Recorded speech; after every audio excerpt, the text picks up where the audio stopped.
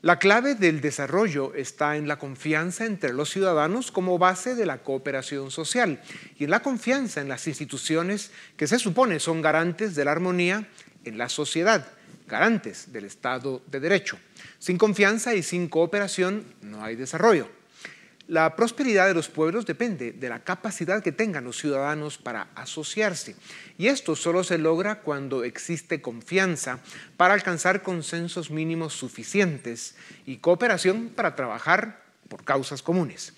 Hay muchas piezas que no funcionan como debieran en las democracias de nuestro tiempo, pero todas las opciones, las otras opciones han demostrado ser un desastre mucho mayor. El ideal democrático que busca que los ciudadanos puedan elegir en libertad a aquellos que van a gobernar en su nombre, para que lo hagan con honor, decencia y capacidad, la confianza para participar, para cumplir como ciudadano y para exigir, sigue siendo, debe seguir siendo el fundamento que construye naciones prósperas, libres y democráticas. Para hablar sobre estos temas relevantes, tengo el gusto de presentarles a Phil Kiefer, es asesor económico del BID y lo fue del Banco Mundial. También nos acompaña Carlos Escartacini, quien es eh, economista eh, principal del Departamento de Investigación del BID. Eh, han hecho investigaciones sobre la poca protección a los derechos de propiedad y su impacto en el crecimiento económico, sobre los efectos de la desconfianza en las políticas públicas y el mal manejo de los presupuestos, y cómo la falta de reformas a los estados y a la política dañan la confianza y comprometen el desarrollo publican artículos académicos, han hecho estudios, son coautores del estudio sobre la confianza en América Latina. Licenciados eh, Kiefer y Escartacini, bienvenidos a Razón de Estado. La confianza, y tal vez empezamos con el licenciado Kiefer, la confianza es esperar que los demás cumplan su palabra. Algo tan simple es esencial para el funcionamiento de una sociedad. En su estudio ustedes reflejan que los niveles de confianza en el mundo han caído. ¿Por qué?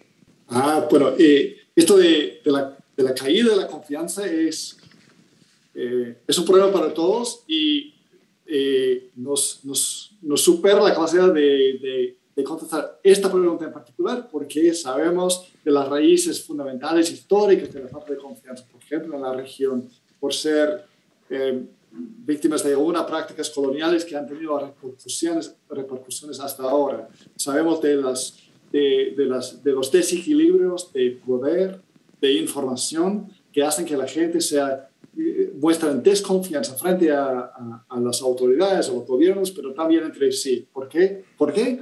Porque no, no pueden saber si su, situación negativa es producto de la mala suerte o de la, del comportamiento oportunista de otros. Y esto es fundamental. No pueden saber, así que tienen desconfianza. Y también saben si, si es que se enteran de que este comportamiento oportunista de un gobierno, de, de una empresa de, de un, o, de un prójimo les ha dañado, saben que no pueden hacer nada al respecto, se sienten desempoderados. Así que creemos que estos, esos dos pilares de falta de información y falta de poder son fundamentales para la confianza. Y tiene que ser que en los últimos años el sentido de poder o, el sentido o la capacidad de informarse ha caído en la región. No sabemos exactamente en qué han caído esto o el otro pilar, pero sabemos que por ahí anda eh, el problema. Ya. Carlos, América Latina eh, eh, puntea peor que ninguna otra región medida en cuanto a niveles de confianza. Se dice que solo uno de cada diez latinoamericanos confía en su prójimo. ¿Qué atributos tiene América Latina para estar tan mal en algo tan importante? Además, tú eres argentino, están basados en Washington, al igual que Phil, trabajando para el BID, como dijimos, y desde allá pues tienen un panorama potente hacia la América Latina. Cuéntanos, ¿por qué estamos tan mal en nuestra parte del mundo? Sí, bueno, eh, claramente lo primero que tenemos que entender bien es qué es la confianza, ¿no? Y como la definimos en el, en el reporte, la confianza es la creencia de que otros no van a tener actitudes oportunistas, que no se van a aprovechar de nosotros. Y cuando hablamos de otros, son otros individuos, o empresas, o el mismo gobierno. ¿okay? Lamentablemente, como bien, como bien tú decías, en América Latina no confiamos en el otro y no confiamos en el gobierno. Eh, y junto, bueno, casi como el, eh, como el África subsahariana, somos de los niveles más bajos eh, de confianza. Y lamentablemente esto no es un fenómeno de hoy, ni del año pasado, ni es un fenómeno de un país en particular, es un fenómeno de toda la región. Toda la región, al menos desde hace 40 años, que es de donde tenemos datos, se encuentra en esos niveles tan bajos, tan bajo de confianza. Como decía, como decía Phil, hay características históricas eh, y algunas más recientes que tienen que ver con que la gente eh, no, no siente que tiene la información necesaria para confiar en otros o que no tiene los mecanismos a su, a su alcance para poder hacer algo, cuando lamentablemente sufre actitudes oportunistas, sea de otra persona, no tiene que, a veces no se siente que el, que el Estado le va a asegurar su seguridad personal, cuando una empresa a veces lamentablemente se aprovecha y no cumple con lo que tenía prometido, o no tiene capacidad de enfrentar al Estado cuando el gobierno quizás hace algo que va en contra de sus intereses. Lamentablemente en América Latina históricamente esto ha sido bajo y lamentablemente al menos la creencia que tiene la gente o las percepciones es que esto es peor hoy día que quizás hace 40 años. Eh, Phil, eh, los economistas afirman que la economía informal es consecuencia de pesadas y absurdas regulaciones que incrementan el costo de formalizarse. En el estudio, ustedes descubrieron que la informalidad también es consecuencia de la desconfianza en las instituciones públicas y en las políticas económicas. Hay países en los que la población económicamente activa llega al 70% en la informalidad. ¿Qué consecuencias tiene esto para el desarrollo de los países? Ah, súper importante e interesante esta pregunta. O sea, es, claro que la informalidad es un problema eh, destacado de la región y mucho más destacado que en otras regiones del, mundo. Pero, pero complicado también, porque fíjense que, que la informalidad es básicamente no cumplir con las, con las leyes, ¿no? las normas sociales y las normas legales de, de, una sociedad. Y esto es como, pero cumplir con ellas es un acto fundamental de ciudadanía, de pertenecer y compartir con los prójimos bueno, las, las obligaciones de, de ciudadanía. Y pero ¿por qué no se hace esto? Pero por, por un lado, es porque no se confía en los otros que van a cumplir. Si la falta de confianza en que los otros van a cumplir deja que yo mismo lo cumplo. Así que ciudadanía es ser formal, eh, pero la gente no quiere. Pero lo que, lo que usted dice es correcto, que hay malas regulaciones, hay malas normas que, que desincentivan el cumplimiento. Pero ¿por qué surgen estos? Es la falta de capacidad de los ciudadanos de actuar colectivamente para exigir mejores normas, mejores regulaciones, leyes que son más conducivas al crecimiento, a la inversión, a la formalidad, digamos. Así que va en ambos, ambos sentidos y es importante los, los dos. Carlos, en 2021, Latino Barómetro publicó que solo el 27% de los latinoamericanos confía en sus gobiernos, 25% en el Poder Judicial y 13% en los partidos políticos. Estos datos son graves más que los gobiernos, pues estos han demostrado ser parte del problema, ¿qué pasos, qué medidas deben tomar las sociedades latinoamericanas, los ciudadanos, para recuperar la confianza, rescatar la política y por eso volver a la senda del desarrollo? Bueno, claramente eh, no es fácil, ¿no? Si ojalá tuviéramos un switch para, para subirlo y que se solucionara todo. Es un problema bastante complejo en el cual estamos trabajando. Una cosa importante que tenemos que entender es que la falta de confianza en el gobierno no es independiente de la falta de confianza en el resto de los ciudadanos. ¿Por qué? Porque para confiar en el gobierno tenemos que hacer que el gobierno pague si no cumple, que el resto de los ciudadanos estén de acuerdo con nosotros en, echar a un gobierno que no, que no se comporta y que el resto de los ciudadanos no entren en prácticas clientelistas, etc. Eh, entonces, no podemos pensar solamente en, la confianza del gobierno con un problema separado de la, de la confianza individual. Y al mismo tiempo, si no confiamos en el gobierno, es difícil confiar en nuestros ciudadanos. ¿Qué es lo que estamos haciendo? Muchas de las cosas que venimos apoyando desde el BID y son parte de la visión del BID hacia el 2025, que es mejorar al, sector público, fortalecer a la capacidad que tiene el sector público de otorgar bienes y servicios públicos, de mejorar la eficiencia del gasto y de mejorar aquellas instituciones que hacen que, unos, que el ciudadano se empodere. ¿Cuáles son aquellas? Agencias regulatorias si necesitamos agencias regulatorias para controlar al sector privado y al mismo tiempo proveer información de calidad. Necesitamos una policía y servicios de seguridad que funcionen para cuidarnos también de los otros. Y necesitamos cortes y mecanismos que nos permitan acercarnos a ellos. Como ciudadanos, la clave también es la sociedad civil y juntarnos entre todos en pos de lograr esos, esos bienes comunes. Ya. Eh, Phil, invertir para hacer negocios y por lo tanto generar empleos y oportunidades es difícil en un ambiente de alta desconfianza, como ya lo decía eh, Carlos. Fukuyama dice que las sociedades desconfiadas pagan un impuesto, un costo extra, porque necesitan implementar más controles y vigilancia antes de llegar a acuerdos, como lo comentábamos. ¿Cómo afecta la desconfianza a la inversión, al crecimiento económico y a la creación de oportunidades?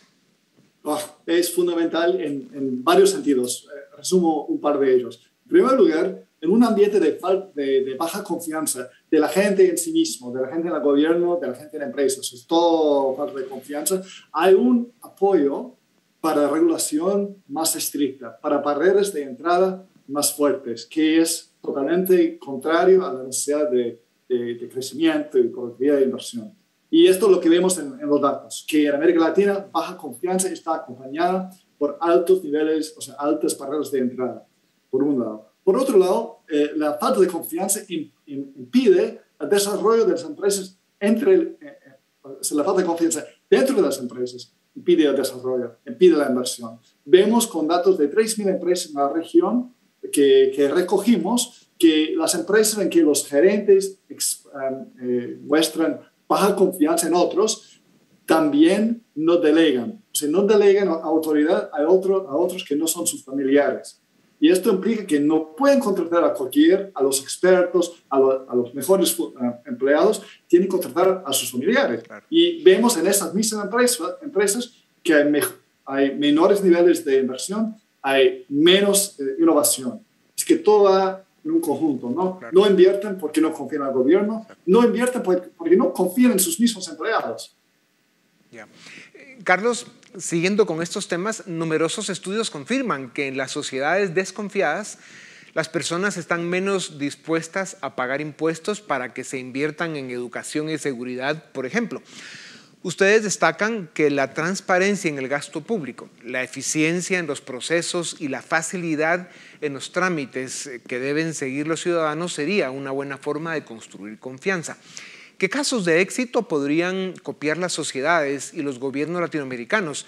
Eh, danos un par de buenos ejemplos. Sí, no, lo, que tú dices es perfecto, perfecto para, para lo que estamos conversando. Lamentablemente, como bien decíamos, en sociedades donde no se confía, por ejemplo, no le demandamos al gobierno aquellos bienes y servicios que son los que eh, al final del día aumentan nuestro bienestar. ¿no?